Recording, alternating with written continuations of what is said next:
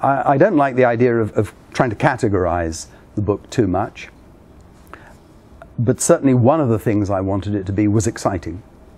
Um, I wanted to get across this idea that, that this was an adventure.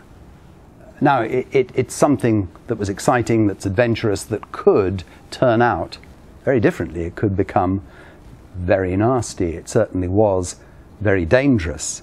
But I did want to get across the excitement because it was exciting. I remember talking to my father. My father, actually, um, curiously, both sides of my, my family had connections with SOE. Um, my mother, by knowing this SOE agent, my father flew for a special operations squadron. So he actually dropped SOE agents into France and Italy and, and the Balkans during the war. And I remember asking him about it, about the war, and I remember him saying, I had a wonderful time. It was extremely exciting. Um, one, one learned a lot, one went to new places. Occasionally, it was extremely frightening.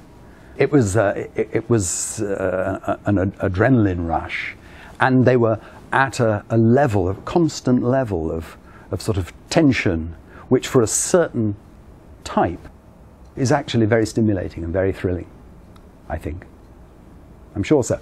It's terribly easy these days to beat your breast and say how ghastly war is.